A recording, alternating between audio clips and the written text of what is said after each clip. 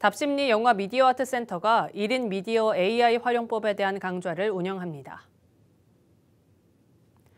8월 11일부터 매주 일요일마다 센터 내 미디어 교육실에서 진행되며 인공지능에 관심 있는 주민이라면 누구나 참여할 수 있습니다.